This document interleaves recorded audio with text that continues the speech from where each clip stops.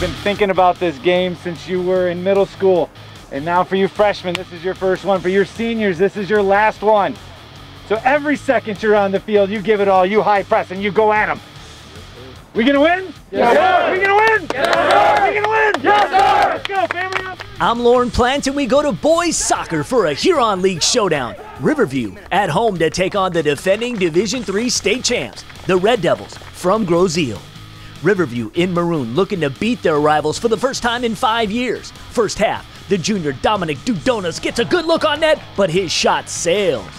Grosse-Ile, fresh off winning its first state crown since 2002. Only three seniors on this year's squad. Bosch Tanya with the cross to Anthony Shaheen, but Pirates netminder Scotty Grunwald there for the denial.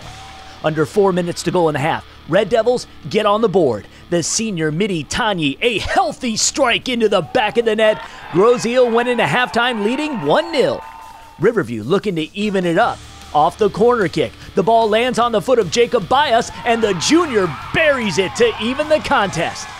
We move now to under two minutes left. The ball staying in the Riverview offensive end. The senior Salvador De La Torre coming through on the second attempt for the go ahead goal.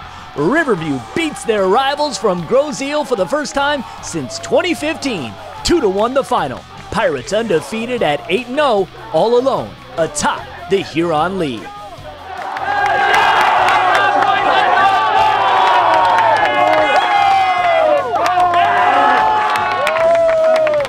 Feels good. I'm telling you all this hard work. I've, all four years that I've been here, we haven't had a chance to beat them. We came close last year and lost in the five minutes, so feels good to come back and beat them in the last five minutes.